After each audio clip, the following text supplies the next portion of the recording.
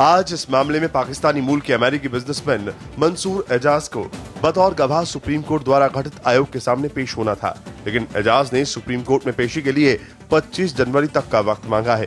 आयोग को एजाज के वकील ने कहा कि उसके मुवक्किल ने स्विट्जरलैंड में वीज़ा के लिए आवेदन किया।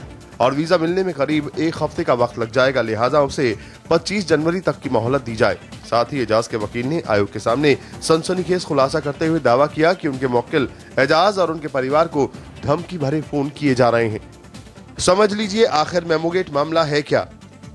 दरअसल, लादेन की पाकिस्तान में मौत के बाद संभावित तख्ता पलट की आशंका के मद्देनजर राष्ट्रपति जरदारी ने एक गुप्त संदेश भेजकर अमेरिकी मदद की मांग की थी।